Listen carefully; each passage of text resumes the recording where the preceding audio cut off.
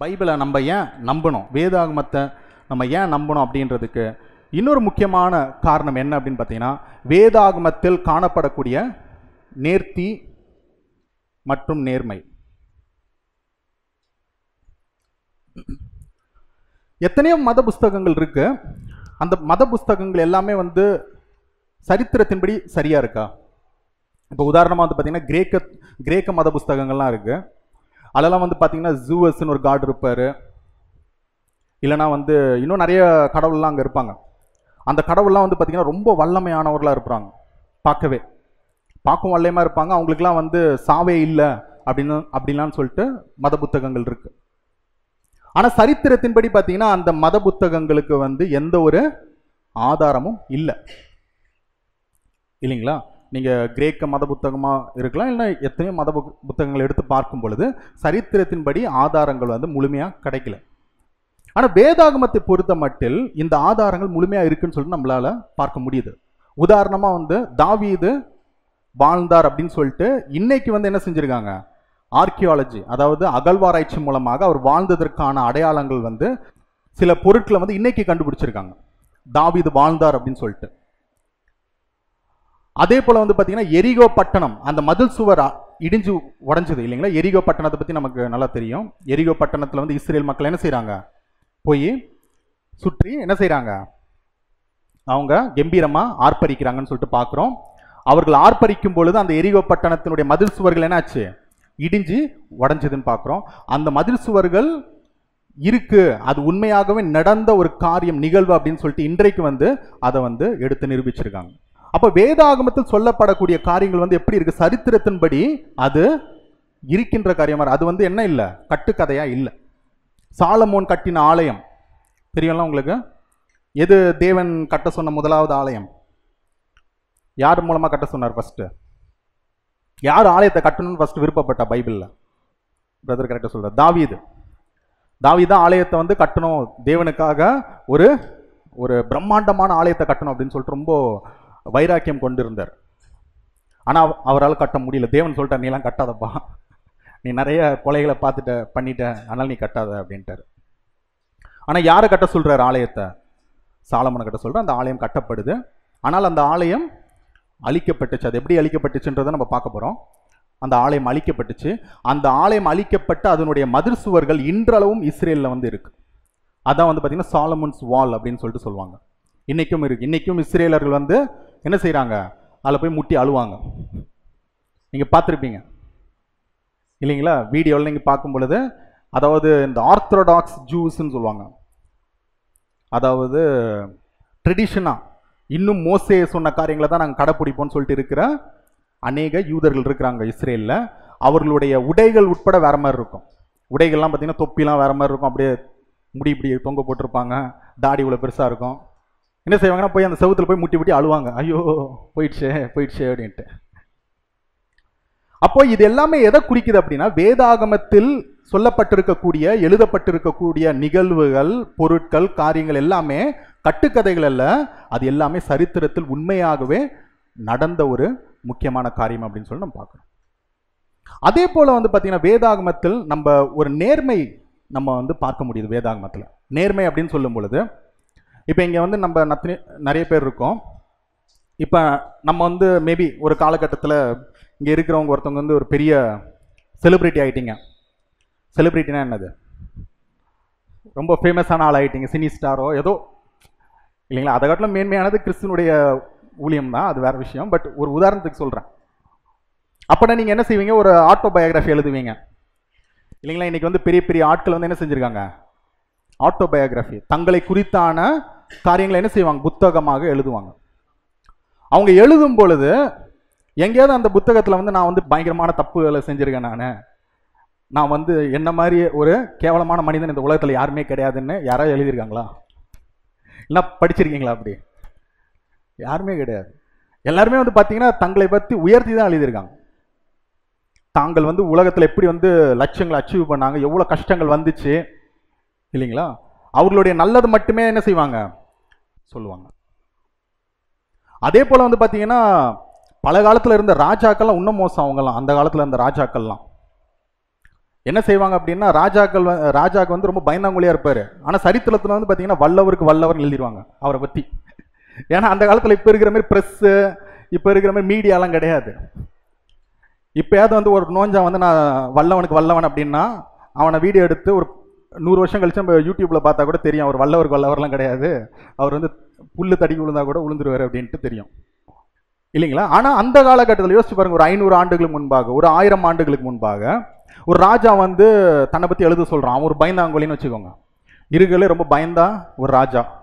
அவன் வந்து எழுத சொல்கிறான் நான் தான் இருக்கிறதுலே வல்லமையான ராஜா அப்படின்னு சொல்லிட்டு எழுத சொல்கிறான் அப்படின்னா அப்போ என்ன செய்வாங்க? அங்கே இருக்கிற ஆளுங்க ராஜாக்களுக்கும் தனிப்பட்ட எழுத்தாளர்கள் இருப்பாங்க எழுதிடுவாங்க.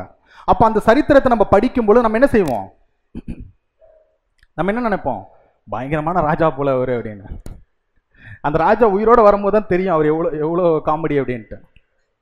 அப்போது ராஜாக்கள் எழுதப்பட்ட காரியங்களும் சரி அதே போல் நம்மளும் வந்து ஒரு பயோகிராஃபி எழுதினாலும் சரி நம்மளுடைய குறைகளை நம்முடைய தவறுகளை நம்ம என்ன செய்கிறோம் சொல்கிறது கிடையாது.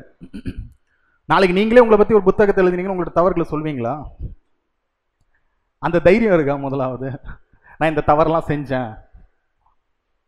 நீ கோர்ட்லேயே வந்து சொல்வதெல்லாம் உண்மை அப்படின்னு சொல்லிட்டு இது பண்ணுறான் நான் சொல்கிறதெல்லாம் உண்மை ஆனர் அப்படின்றான். ஆனால் எல்லாமே பொய் தான். இல்லைங்களா? கோர்ட்டில் வந்து அந்த இது வச்சுருப்பாங்க இல்லைங்களா? அந்த புக் லா புக் வச்சு ப்ராமிஸ் பண்ண சொல்லுவாங்க. சத்தியம் பண்ண சொல்லுவாங்க. நீ சொல்கிறதெல்லாம் உண்மை. குற்றவாளி அவன் தான் கொலை பண்ணியிருப்பான். ஆனால் அவன் என்ன இது பண்ணுவான்? நான் சொல்கிறதெல்லாம் உண்மைன்னு சொல்லிட்டு நான் எதுவுமே பண்ணலன்னு சொல்லுவான். இல்லைங்களா? அதை வாதாடி ஜெயிக்கவும் செஞ்சிருவாங்க. அது வேற விஷயம்.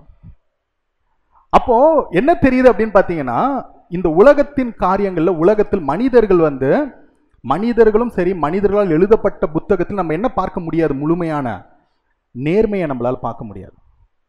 ஹானஸ்டியை வந்து அங்கே பார்க்க முடியாது.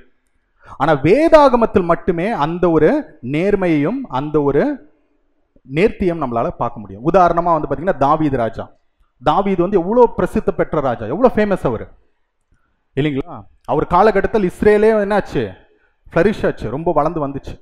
ஆனால் அப்படிப்பட்ட ராஜா ஒரு தவறு செய்கிறார் மிகப்பெரிய தவறு செய்கிறார் என்ன செய்கிறாரு விபச்சாரம் செய்கிறார் தவறு செய்கிறார் விபச்சாரம் செய்கிறாரு அதே போல் என்ன செய்கிறாரு என்ன செய்கிறாரு கொலையும் செய்கிறாரு ரெண்டு மெயின் சொல்லப்போனால் பெரிய அக்யூஸ்ட் அவர். ஓகேங்களா? இப்போ ராஜாவா இருந்த அவர் இந்த காரியங்கள் நமக்கு எப்படி இன்னைக்கு தெரியுது? இப்போ உதாரணமா அவர் வந்து கொலை பண்ணியிருக்காருன்னு சொல்றோம். அவர் வந்து விபச்சாரம் பண்ணியிருக்காருன்ட்டு எதை வச்சு நம்ம சொல்றோம்? எங்க படிச்சு சொல்றோம்? பைபிளை படிச்சு சொல்றோம். இப்போ அவர் நினைச்சிருந்தாருன்னா அவர் ராஜா இல்லைங்களா? அவர் கையில் தான் எல்லா அதிகாரமும் ஆளுகையும் இருக்கு. அவர் நினைச்சிருந்தாருன்னா அதை ஸ்டாப் பண்ணிருக்கலாமா முடியாதா? முடியும். ஆனால் ஏன் முடியல அப்படின்னா வேதாகமம் மனிதர்களால் எழுதப்பட்ட புத்தகம் கிடையாது. அதான் விஷயம் அங்க. இல்லைங்களா? அப்போ அந்த காரியங்களை ஏன் வந்து தேவன் பதிவு செய்ய வச்சிருக்கிறார் அப்படின்னா எதற்காக பதிவு செய்ய வச்சிருக்கிறான்னா அது எல்லாமே நமக்கு என்னவா இருக்கு? பாடங்களா இருக்கு. அதெல்லாம் நம்ம செய்யக்கூடாது. இந்த தவறுகளை நீங்கள் செய்யக்கூடாது அப்படின்னு சொல்லிட்டு தேவன் என்னதான் ஒரு மனிதர் பெரிய அளவு அச்சீவ் பண்ணாலும் அந்த மனிதன் தவ செய்த தவறுகளை என்ன செய்கிறாரு தேவன் பதிவு செய்ய அனுமதிக்கிறாருன்னு சொல்லி நம்ம பார்க்குறோம். அதே போல இஸ்ரேல் நாடு தன் சொந்த நாடு தவறு செய்யும் பொழுது இறைமை என்ன செய்யறாரு சொந்த நாட்டுக்கு விரோதமாகவே உங்களோட நாடு விழுந்து போகும் அழிந்து போகும் ஒன்றுமில்லாம போகும்னு சொல்லிட்டு சொல்றாரு. இன்னைக்கு நம்ம உட்காந்து இந்தியா அழிஞ்சு போயிடும் ஒன்று இல்லாமல் போயிடும்னா என்ன செஞ்சிடும் உங்களை? வாப்பா உங்ககிட்ட தனியாக பேசணும் அப்படின்னு கூட்டு போயிடுவாங்க ஏதோ சொல்லிட்டு இருந்திய கொஞ்சம் சத்தமாக சொல்லிப்ப அப்படின்னுவாங்க. ஐயா அப்போல்லாம் நான் சொல்லலை. இல்லைங்களா?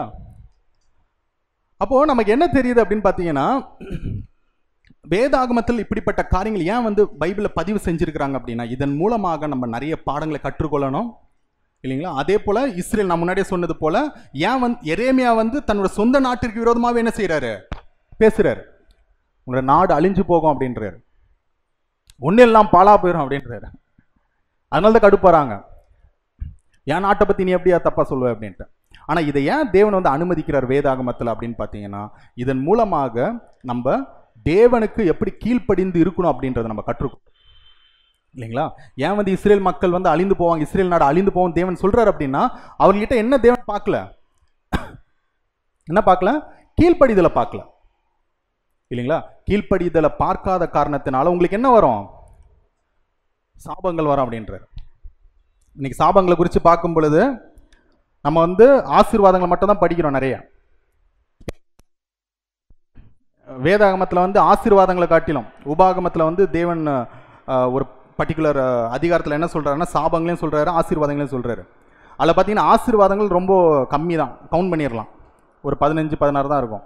ஆனால் சாபங்கள் பார்த்தீங்கன்னா போயிட்டே இருக்குது பட்டு ஆனால் நம்ம எதை தான் படிக்கிறோம் இன்றைக்கி அதிகமாக ஆசீர்வாதம். எது எனக்கு?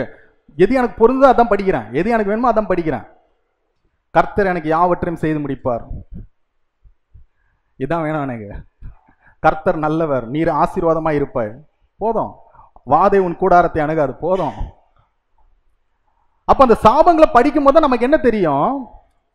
எதனால தேவன் இந்த சாபங்களை கொடுக்குறாரு? இந்த சாபங்களை தேவன் கொடுத்த காரணம் என்ன?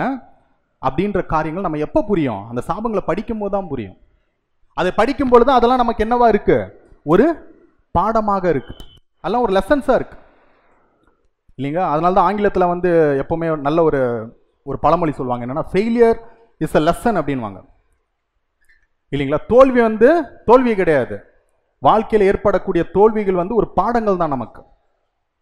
அப்போ இந்த சாபங்களை நம்ம படிக்கும் பொழுது என்ன தெரியுது? நான் பார்க்கும் பொழுது என்ன எனக்கு புரியுது அப்படின்னா இஸ்ரேல் மக்கள் தேவனுக்கு விரோதமாக நிறைய காரியங்களை செஞ்சுருக்காங்க. எதெல்லாம் தேவன் செய்யக்கூடாதுன்னு சொன்னாரோ அதை தான் என்ன செஞ்சிருக்காங்க? செஞ்சுருக்காங்க. இல்லையா? நீ விக்கிரகத்தை செய்யாத அப்படின்னா மோசே மேலே போயிட்டு வர்றார் சீனாய் மலைக்கு. இங்கே அதுக்குள்ள விக்கிரகத்தெல்லாம் செஞ்சு பக்காவாக ரெடி பண்ணிட்டாங்க. தேவன் வந்து செய்யாத அப்படின்ட்டுருக்காரு இவங்க பக்காவாக ரெடி பண்ணி அப்படியே கோல்டு ஆர்னமெண்ட்ஸ்லாம் போட்டு நீங்கள் தான் அந்த ஆட் மாடை பார்த்து நீங்கள் தான் எங்களை எகிப்திலேருந்து கொண்டு வந்த தெய்வம் அப்படின்ட்டாங்க. காலையும் விழுந்துட்டானுங்க ஆர்வணம் அப்போ நமக்கு என்ன தெரியுது அப்படின்னு பார்த்தீங்கன்னா இந்த சாபங்களை நம்ம படிக்கிறது மூலமாக அதில் நம்ம கற்றுக்கொள்ளக்கூடிய பாடங்கள் அதிகம். அதனால் நீங்கள் கூட இனிமேல் வந்து பைபிளை படிக்கும் பொழுது நல்லது மட்டுமே பார்க்காதீங்க. நல்லது மட்டுமே படிக்கணும்னு படிக்காதீங்க. அதில் வந்து ஒன்றும் இல்லை அது எப்போவுமே பார்ப்பீங்க. ஒரு வீட்டுக்கு போனீங்கன்னா சுற்றி சுற்றி ஆசீர்வாத வசனங்கள் தான் வாக்குத்த வசனங்கள்னு சொல்லிட்டு இருக்கும். ஆயிரம் வசனங்கள் இருக்கும் சுற்றி ஆனால் எப்போ ஒரு காரியம் நமக்கு வந்து பாடமாக இருக்கும்னா இப்படிப்பட்ட நிகழ்வுகளை இப்படிப்பட்ட காரியங்களை படிக்கும் பொழுது தான் நமக்கு அது பாடமாக அமையும் அப்படின்னு சொல்லிட்டு நம்ம பார்க்குறோம். அப்போ வேதாகமத்தில் எதற்காக இப்படிப்பட்ட காரியங்கள் அதாவது தாவிது செய்த தவறுகள் இஸ்ரேல் நாடு செய்த தவறுகள் இன்னும் சவுல் நிறைய தப்பு செஞ்சுருக்காரு அந்த காரியங்களை போட்டிருக்காங்க. இதெல்லாம் ஏன் வேதாகமத்தில் பதிவு செஞ்சுருக்கிறாங்க அப்படின்னு பார்த்தீங்கன்னா அது எல்லாமே நமக்கு என்னவா இருக்குது பாடங்களாக இருக்குது நம்ம அப்படி செய்யக்கூடாது அப்படின்ற ஒரு காரணத்துக்காக எல்லாவற்றுக்கும் மேலாக அது எதை வந்து நிரூபிக்குது அப்படின்னா வேதாகமம் மனிதர்களால் எழுதப்பட்ட புத்தகம் இல்லவே இல்லை அப்படின்றத நிரூபிக்குது. இல்லைங்களா? ஸோ அதுதான் இரண்டாவது ஒரு காரியம். ஏன்னா நேர்த்தி மற்றும் நேர்மை.